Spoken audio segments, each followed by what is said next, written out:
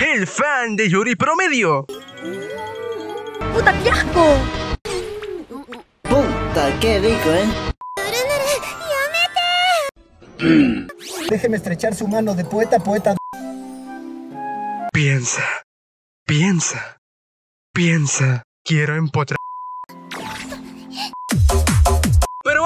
Ya puedes ser miembro de este canal con los siguientes beneficios. Mandarte saludos, emojis personalizados y unas cuantas que otras cosas más. Y también suscríbete al canal, dale like al vídeo, compártelo, activa la campanita de notificaciones y sígueme en todas mis redes sociales. Ahora sí que sí.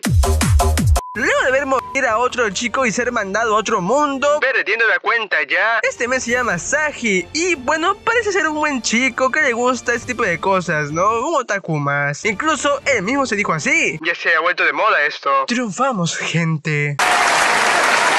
Al registrarse como héroe, se le fue asignada una misión como prueba, que era cazar conejos, dicho y hecho. Puede que me confunda, pero... Esos no son conejos, ¿verdad? Y bueno, debido a que este señor es más débil que la madre que me parió, de la nada aparece su hermana y se carga de una dragón. ¿Cómo puede ser este suceso? ¿Eras tú?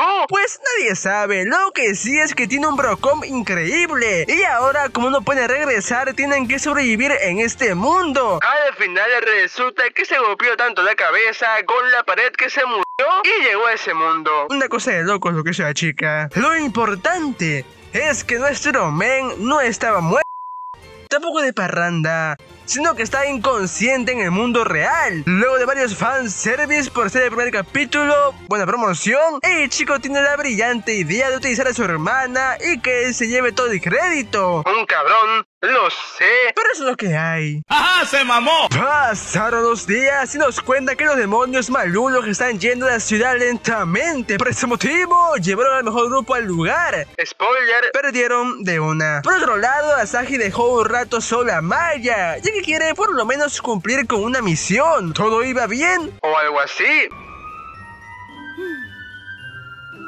¿Y tú qué matriosca eres? ¿Me olvido de algo? ¿Ah, sí? Sí. Muy buenas tetas. Esta chica se llama Kilmaria y lo salvó de una estampida de osos que se lo querían comer. Literalmente. Enfermos. Al cumplir con lo anterior, nos enteramos que esta chica es una de las generales del mismísimo rey demonio y que quiere pelear con Asahi. Obvio, él no le dijo su nombre aún, pero ya se está haciendo famoso. Para no hacerla tan larga, en ese mismo momento se entera que es él. Tenemos una persecución mismo a todo gas. En eso llega Maya, ve lo sucedido, se pone celosa, se enfrenta con Kilmaria. Tenemos una batalla ultra mega hiper mamadísima nivel Rias Gremory. Increíble, una cosa maravillosa. Resultando que Maya fue la ganadora. Estaba a punto de matar. Pero Asahi la salva. Ya en otro día, vemos que las estadísticas de Maya son de nivel infinito. Kirito versión mujer. Aunque también existe una. Luego de ello, Asahi estaba pensando en crearse un grupo al igual que los que fueron derrotados a los demonios. Y que coincidentemente regresaron por ser derrotada fácilmente. Más tardecito, Asahi salva a un rubio que estaba siendo jodido por unos borrachos. Y fíjate que te cuento que resulta que el mundo es pequeño, ya que el gringo es el jefe de ese gremio. Spoiler, está la depresión. Ya para finalizar el día, nuestro pequeño se va a una misión de matar guibernos. Se encuentra con Kilmaria, su hermana nos estaba espiando, las dos se pelean. ¡Qué rico! Perdón. Las dos lo salvan y se vuelven muy, muy buenas amigas. Son deres, pero amigas. Con ello, debido a que los hermanos estaban quedando pobres, le piden a la recepcionista que le dé una misión con mucho dinero. Pero, para acompañarse a la drama, le recompensa en una mansión. El único problema es que hay un fantasma y que lo estaba resguardando. ¿Problema por qué dirás tú? Y es que resulta que Asahi tiene traumas de niño de 5 años. Obviamente, al llegar Maya, se carga el fantasma, o eso parecía. Al entrar, el mamahuevo del fantasma quería matar a Asahi. Maya lo curaba con un poco de fanservice hasta que el fantasma penetra a la hermana, metafóricamente, sucios. Estaba a punto de matar a Asahi, pero por cosas de la vida llega Kilmaria y hay fanservice muy bien. Qué suerte tienen los feos. La hermana poseída, por alguna razón, se pone celosa. Tienen unas pulseadas con Maria. Spoiler, gana la poseída. Y para resumir, no estaba poseída. Tampoco de parranda. Se hacía de morida. La cabrona. Solo para sacar el lado kawaii de su, de su hermano. ¡Qué graciosa! Por la mañana tenemos buenos fanservice que nos confirman que ya es su casa. ¡Aplausos! En otra misión más, nos adentramos ahora en una mazmorra. No hace falta mucha explicación, la verdad. Final Fantasy y listo. Nuestro amigo todo ilusionado por saber mucho de estos lugares, las bestias especiales, las trampas, etc. Pero, como tiene de hermana al mismísimo... Eh... Eh muy rota y se carga todo lo malo a su paso. Un poco de contexto. Resulta que la recepcionista le pidió que les eche una mano o un ojo, mejor dicho, a la mazmorra para ver si se puede explorar. Pero al encontrar tres bebés osos, les dio pena y les dijeron que no, que no se puede. Luego de ello, Maya se fue a cocinar y dejó solo a Saji. Nuestro prota estaba a punto de ser comido por lobos. Spoiler, logra escapar. Se encuentra con alguien parecido a Kilmaria. Spoiler spoiler, estoy haciendo cosplay y deciden hacer una broma a Maya. Con ello, spoiler, sale mal. Se queda a comer con los hermanos y se vuelven los tres muy unidos. ¡Qué bonita la amistad! Los siguientes días tuvimos momentos rutinarios de misiones entre hermanos y cumpliéndolas al full de power. A regresar a la ciudad conocemos a un grupo de idiotas que lo más importante y que no es idiota o algo es la curandera o curadora de nombre Sophie. Resulta que esta chica fue criada con la mentalidad de que el héroe es lo mejor que hay en el mundo, que es un buen tipo y todo bonachón. Un capo en resumen. Con esto dicho, la albina confunde a Saki con el héroe y a partir de aquí le mostrará devoción y lealtad infinita. Aunque me adelanté un poco. Resulta que ese grupo de tontos se fueron a una misión. Tiempo después los hermanos son informados de que un grupo está en problemas ¿Van a salvarlos? O bueno, Maya lo hace. Y con esto Sophie quiere unirse a los hermanos. Spoiler, no la dejan. Y para no ser tan larga, Asahi va a una misión en solitario. Sophie lo sigue, se meten en problemas. Pero suerte que Maya y Kilmari estaban discutiendo ahí. Que lo salvaron de forma indirecta. ¡Qué suerte tienen los norteños! Espera, ¿qué mierda? En otra misión más, que esta vez trata de salvar un pueblito de los orcos malulos. Asahi cae en la trampa de tres cosas que estaban bailando Chipalowski. ¿Eso quiere decir momento norteño? Mi recuerdo a mí. Luego de ello tenemos unos cuantos fanservice, derrotan al orco supremo, aunque me doy cuenta de que ahora no son orcos, detalles. Pero resulta que Asahi al volver a la normalidad se pone un poco sad, porque hasta ahora no ha podido proteger a su hermana, aunque todo se calmó con momentos felices y fanserviantes. Como siempre. Al día siguiente, Tania estaba de descanso con su hermano. ¿Descanso normal? Descanso sano y le piden a Sagi que le muestre el poder del futuro héroe de la ciudad. Para casos prácticos, hablo de él, ¿vale? Lo digo por, por si las dudas. Así, con la ayuda indirecta y lejana de Maya, tenemos a otra chica en su harem. ¡Qué capa! Resulta que nuestro prota tiene una nueva técnica y es destello. Tal cual la de Pokémon. Aunque en ese caso creo que se ve mejor. Ahora tienen una nueva misión. Acabar con un grupo de bandidos que quieren joder a la ciudad. Todo estaba a pedir de boca. Mi buen amigo. Esta campaña volveremos a estar con...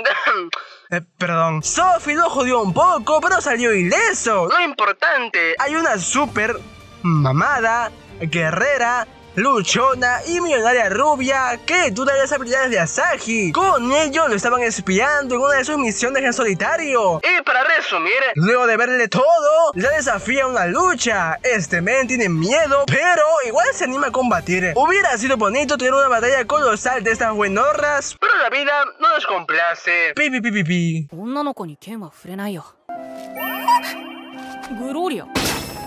¡Qué hombre! Lo seguiría al infierno y de regreso. Tenemos un momento bonito en familia, luego una misión de recoger una flor, asimismo una separación de grupo. Nuestro amigo estaba a punto de morir, pero sus poderes de prota se activan y es salvado por Kilmaria. Con ello, los dos se percatan que un pueblo cercano está siendo jodido. Y es que uno de los lacayos de uno de los generales del Rey Demonio estaba molestando. Este último, a ver a Kilmaria, le dice que se una. Pero Asahi, como dicen los otakus, la evangeliza al 100%. Spoiler, misión cumplida. Vemos que nuestra rubia amiga quiere hacerle sin respeto a Asahi. Con ello, junto a su mayordoma, lo invita a una misión en conjunto. Aventuras por aquí y por allá, pensando que es una cita, cada una con sus cosas. Además...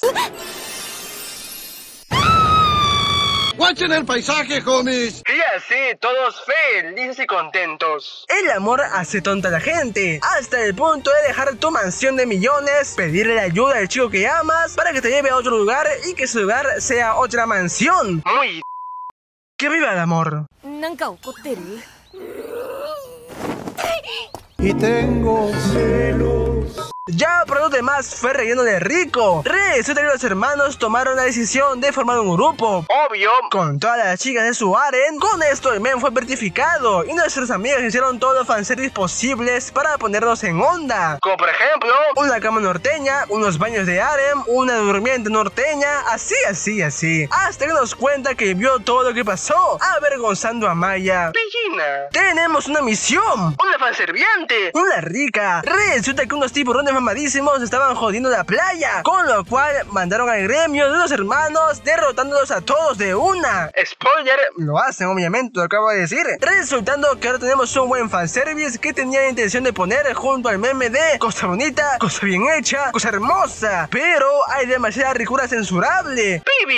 Dicho y hecho, se estaban divirtiendo de locos hasta que aparecieron los 11 tiburones más poderosos del mundo, teniendo una batalla colosal, bien colo y bien sal.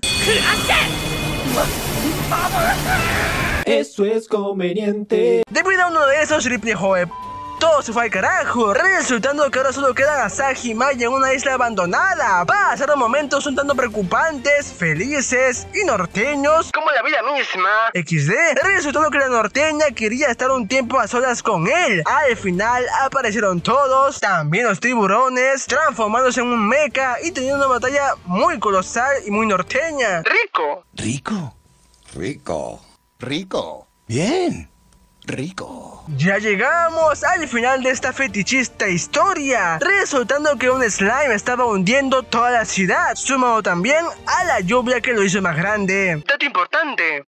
Creo. Con ello Asahi va a ver cómo está la situación, dejando que Ilmaria llamadas solas para que no joda. No lo digo yo, sino él mismo.